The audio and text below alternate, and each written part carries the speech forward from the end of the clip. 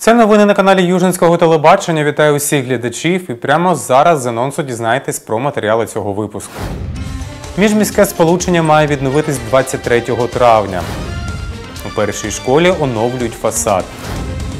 День вишиванки в Южному відзначили в режимі онлайн.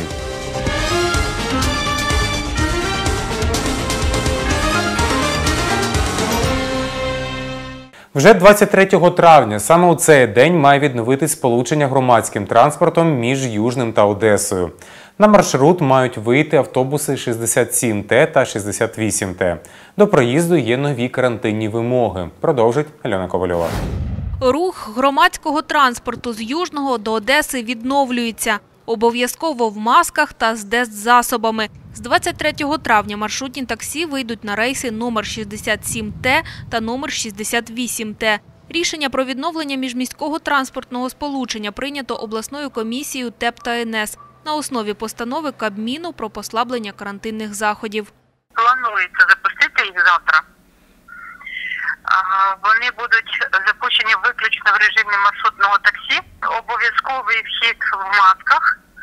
І протягом усього маршруту пасажири мають знаходитися в масках. Водії будуть також в масках з засобами. І тільки виключно сидячі місця будуть зайняті. На автостанції нашим журналістам повідомили, що автобуси мають вийти на маршрут в звичайному режимі. Ціна на проїзд не змінилась. Інформацію про послаблення карантину южниці сприйняли позитивно. Нормально, в принципе, давно пора, потому что люди, людям на работу нужно ездить и как бы ну, не пешком же ходить. И такси, а такси дорого. Я думаю, что люди уже настолько привыкли к этому, что как-то мало будет как-то их уже волновать это.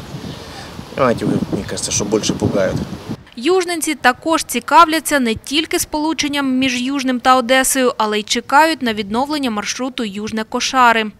Мне надо, чтобы автобус запустили в Кашары. На маршрутке я в город не езжу. Пешком до Сычавки. Я в Сычавке уже прошусь знакомых, кто в Кашары на даче едет. Але про запуск маршруту на Кошари та Коблеве в міській раді поки що не визначились. У першій школі продовжуються ремонтні роботи. На активній стадії зараз фасад будівлі.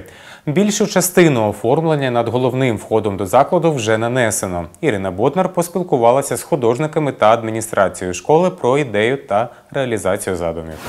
Перша школа перевтілюється. Фасад заграв кольорами. Головний вхід школи тепер прикрашають шість ластівок та сонце. Южницький художник Андрій Косарєв вже розмальовує промені. Попереду ще дві стадії роботи. Потом покроется лаком, все будет нормально. Они станут ярче, такие насыщенные, как будто только что краска нанесенная, свежая. Еще будет низ вот сюда, вот этот метр, вот этот, который заходит туда тоже рисунок. Ну, это мы решили только вот, вот только-только. Потому что, чтобы был плавный переход на низ. И получается, вот эти вот я подведу еще туда вниз.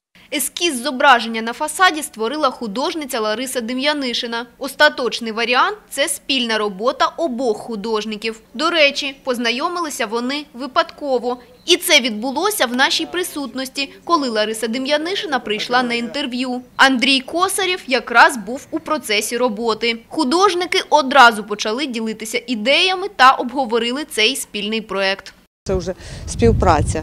Це і ідея пані Оленки Баранецької, тому що ну, я ескізи показувала, там і чайки були, ну, от окремо летіли чайки, так як ми все-таки коло моря живемо. Сонце дійсно тут таке, ну ніби як суперзірка, а у мене воно було стилізоване під нашу різдвяну зірку, тобто трошки інакше.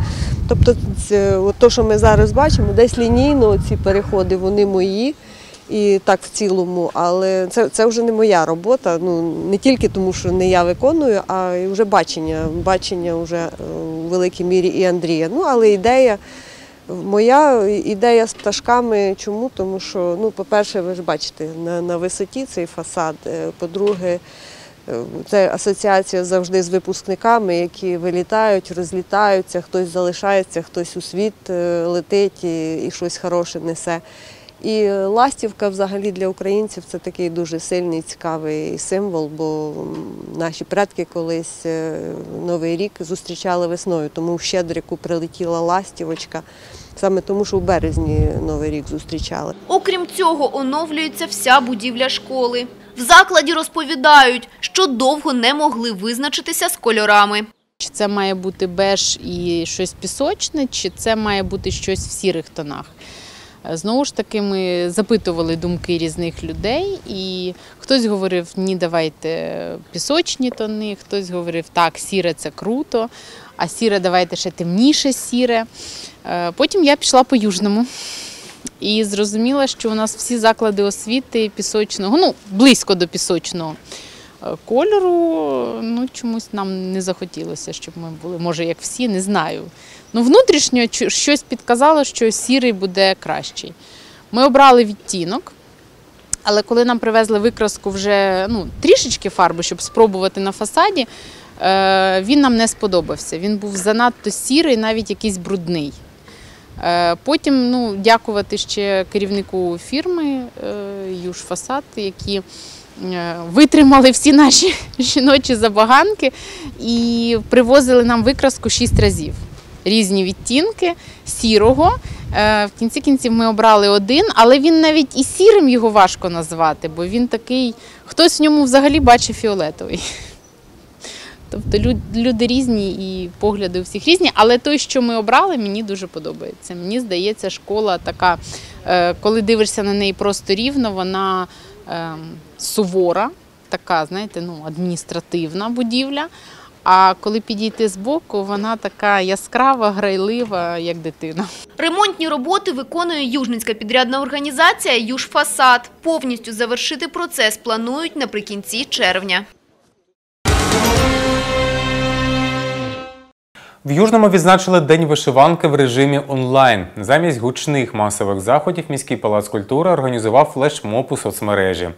Презентували світлини із традиційним українським одягом і навчальні заклади. Головним символом свята 21 травня в Южному стало погруддя Тараса Шевченка, вбране у вишиванку. Популярно про українське. День вишиванки в Южному цього року пройшов онлайн.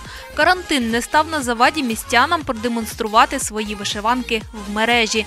Наприклад, Палац культури Дружба запустив флешмоб Український віночок та одягнув Тараса Шевченка у святкову сорочку. Ті заходи, ну, заходи, які ми зробили через мережу е, соціальні, вони пройшли, як на мій погляд, е, вдало відгук е, користувачів Facebook і, і всіх, хто до цього причетний, був позитивний. Ми зробили, ми вперше зробили, одягли Тараса Григор, одягли Тарасу Григоровичу Шевченку вишиванку. Це було е, непросто, тому що він у нас тільки погруддя, е, без рук, тому ми міркували декілька варіантів, міряли, е, придивлялися, як це може буде виглядати краще. Ну і вийшло так, як вийшло, на мій погляд, досить вдало. Потім ми підготували фотозону. Я люблю вишиванку, яка була розміщена, розміщена ганку Палацу культури. Е, Люди фотографувалися. Це було нагадуванням про те, що е, вхід був доступний, тобто ми спеціально так зробили, щоб не було ніяких обмежень. Це теж спрацювало, як на мій погляд. І наші співробітники, наші режисери зробили такий колаж е, у Фейсбук про вишиванка в, колективах і е, в працівників Палацу культури. Вишиванку нестандартних розмірів для погруддя Шевченка виготовили в Палаці культури. Костюмерці Зориславі Тихоновій на створення такого шедевру знадобилось натхнення та декілька годин часу. Идея возникла буквально там, за день до праздника. Э, нашли кусочек белой ткани, э, нашли кусочек, уже это была уже вышитая аппликация, которая ждала своего часа, ждала, где ее применят. Э, тесьма, все это было сделано буквально за несколько часов. Мальчишки помогли, наши сценисты, поставили огромную лестницу, померили, помыли памятник наконец-то, потому что целый год никто его не мыл, он был грязный. Помыли его, одели, и мне кажется, он был очень счастлив. До вишиваного флешмобу в мережі приєдналися южненські освітні заклади. Викладачі та учні ділились світлинами зі своїми вишиванками та приймали участь у флешмобах. Я візьму все свої руки і піду, і допоможу всім, хто зазнав біду. Я почну міняти світ і себе. Десь по світу ти шукаєш іншу Україну, а вона живе у твоєму серці, незалежна, вільна і єдина. Рідна Україна! На сьогодні це все. Вдалих вихідних. Побачимось.